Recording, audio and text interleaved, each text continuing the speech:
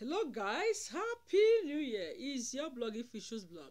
I post more about relationship. I do I create relationship videos more than any other video. Today is uh, is new year.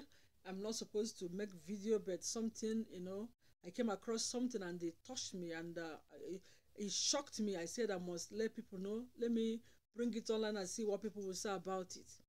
You know, IVD, the young man that uh, his wife committed suicide by, you know, pouring kerosene all over her, herself and all that. Some weeks ago, she died.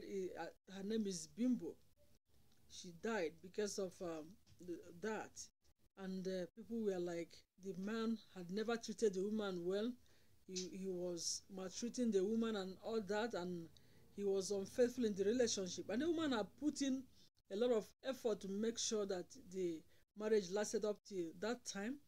You know, the Blessing CEO posted about this young man today, IVD.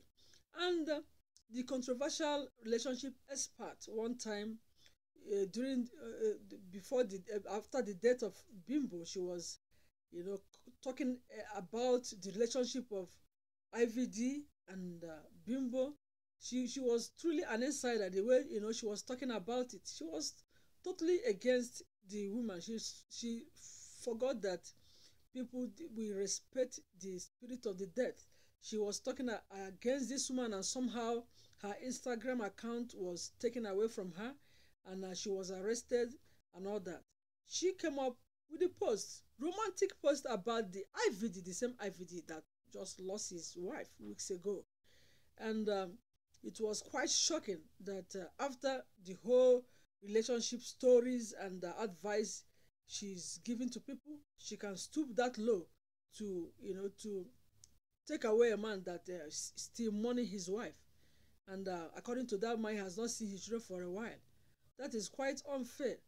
Why would women continue to, you know, to be a problem for other women? I know the woman is dead, but she didn't even, you know, take time to you know to enter a relationship with this young man.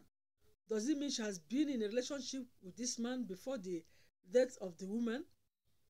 This is quite unbelievable. I would like to hear what you say about this matter. Thank you. Enjoy your holiday